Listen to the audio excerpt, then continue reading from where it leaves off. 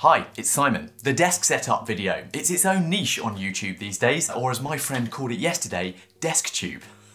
But beyond finding the most tricked out keyboard or perfectly spec'd monitor, I've been looking into some beautifully designed accessories that truly merge form and function to take your productive desk setup to the next level. These are my picks for beautifully designed desk accessories that make your life better. That's the power of great design after all, form and function coming together in perfect harmony. You can find links to all the productive tech in the description below, and for the regulars here, yes, of course, I'm gonna get myself a proper desk chair soon. I'm not a complete lunatic. So first up, I've been talking with the amazing folks at Orbitkey recently, and they sent me over these, the Orbitkey Nest and their flagship desk mat. And well, they easily make the list for well-designed minimal desk accessories. Orbitkey are known for their everyday carry items like key holder and wallet solutions, but these products really caught my eye. So this Nest is a great all-in-one solution for storing your essentials both working from home and on the go. And as someone who values keeping things minimal, I love the fact that this now doubles as my cable and accessories holder when I'm traveling, and then a wireless charging desk tidy at home. Cool. The lid doubles as a charger using the included USB-C braided cable and these Velcro dividers can be moved to hold what you want in the right place. The first rule of organisation right there, everything has a home. It comes in this stone grey or black and is super well made and perfect for my headphones, cables and hard drives. Oh, and there's a nice little spot to put my Apple Pencil when I'm on the go. So to go with it, this is their desk mat, but it's more than just a desk mat. This one makes the list for a great combination of form and function. The leather top mat sits on a felt base to protect your desk and offers a smooth mouth surface or for writing on, but you can then also lift this top layer as a handy little document holder, little storage for documents between them. And in my small space setup, this has been great as it keeps a spot for keeping my notes that I'm working on. The mat also has this this magnetic tidy for stationery. Your Apple Pencil is held there really nicely. But the best thing, a magnetic cable holder. Finally, someone's worked out a way to organise cables to be easy within reach when you want them and stay where you want them when you're not using them. No more desk diving for the iPad charger. Better Creating viewers, in fact, can check out Orbitkey via my special link that they've sent me and a code BETTER10 for a discount, so get stuck in, I'm a big fan. Next up, lighting, and BenQ sent this, their new ScreenBar Halo, a beautifully designed computer monitor light that fits perfectly with a minimal Mac or work from home setup. Light bars are a great investment for looking after your eyes by reducing fatigue and eye strain for long sessions, particularly ones that will light behind the monitor as well as down onto the desk. This one does both. But what makes BenQ's latest offering particularly attractive though is the adaptive ambient light sensor and that wireless space grey hockey puck that controls it.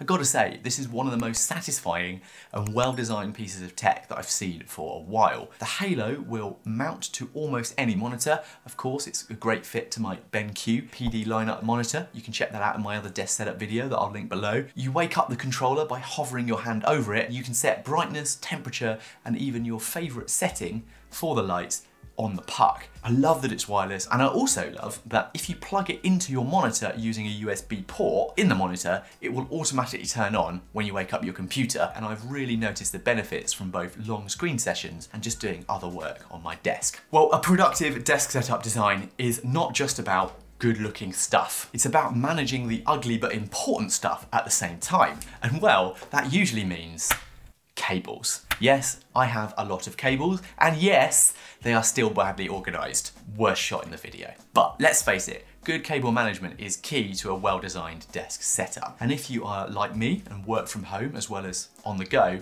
making your desk setup a one cable plug and play interface for a laptop is a game changer and really essential. Here's how I'm doing it. A dock, a good monitor, and a place to hide the mess. So first, get yourself a good cable tray to get things out of sight. My desk is part of String's awesome modular shelving system. I mean, it's not for everyone, it's quite contained, but the shelving system's really worth thinking about in terms of pairing it with another desk. But what I did do is I made sure to include a metal tray from the system to sit under the table. And I've converted this magazine rack holder for my MacBook to sit it nicely out of the way. Pretty cool. It's a 2022 M1 Max, by the way. Check out my video on that if you want to know more about choosing a Mac and why I picked this one. This however, has been the real game changer for my setup, a Thunderbolt 3 dock. And Orico sent me this to try, the Orico TB3S3 multifunctional docking station. So it offers enough ports for my hard drives and a ton of other peripherals, including Thunderbolt 3 input that supports 60 watt power delivery to my MacBook, meaning I can just plug and play and stay charged with one cable. Okay, it would be great if it could do 90 watts like some things are doing, but I find this is enough to keep my 14 inch max Mac running throughout the day. Outputs are plentiful, another Thunderbolt 3, most likely for your monitor, you would want to use that. In terms of USB, there's two USB-C Gen 2s, a few USB-C A ports, Gen 1, Gen 2 and Gen 2.0, I mean, there's loads. And of course, the usual mini jack SD card reader and LAN port. This dock works fine with my MacBook. The speed is pretty good, they claim up to 40 megabytes per second on the best ports. That said, I'm not sure I was getting that on data transfers all the time. The negatives, well, the design, whilst attractive, only really works when stood upright, meaning it limits your options of where you actually might mount it and place it. I would have loved for there to be a flat side so I could mount it under the desk or even just lay it sideways. Oh well, if you don't mind that, an ever so slightly blue tone to the space grey, it's a good bet and works really well. Sure, there are likely faster hubs out there, but this is a solid, great value one for the money. Oh, and man, do Orico make good Thunderbolt 3 cables. This additional cable they sent me is heavy duty and very satisfying,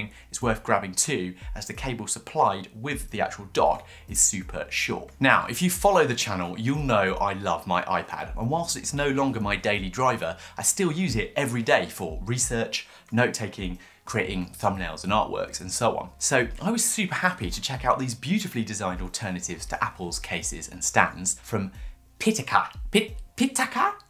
Pitaka, cool company. They sent over the MagEZ Case 2 and folio cover. These guys have a really good eye for subtle, well-designed and well-made pieces of kit. And these are a great option compared to Apple's own designs. Since I'm using my iPad a lot less for typing these days, I decided to ditch the keyboard case and go minimal. Pitaka's folio case really does the job well and remains easily to attach and detach using, you guessed it, magnets. Now definitely if you're looking for something like this, I would pair it with the MagEZ case as well for a cleaner fit, because this just slightly overlaps the edge of the iPad without it, but together they make a really nice system. What's really cool is it's really low profile and super low weight, so you really don't notice it on the iPad when you're using it. If you use an Apple Magic Keyboard or a folio case, you'll be aware of the lack of protection for your iPad when you remove it from it. So this is a great cover to do just that. That low weight, low profile look means you barely notice it, but it does help protect the iPad. I wish I'd done it earlier. I've got a few chips on mine. And what's really cool is the built-in magnets mean my iPad will still connect to any other cases or stands. And whilst Pitaka also make a magnetic desktop stand for the iPad, I still rate ChargeN Pro's MagFloat as the ultimate iPad desk setup item for both form and function. I love this thing. I made a video on it before and I really recommend checking it out. The best thing, it works with all of this stuff too, so I'm really happy. Okay, so we've not talked monitors, keyboards, and to be fair, there are a fair few other bits of work from home tech you might have spotted in this video that you'd like to know more about. So make sure to go and check out my minimal desk setup tour video next for Keychron keys, SanDisk discs, and more productive tech. DeskTube is in full force, my friends. I've always wanted to do that.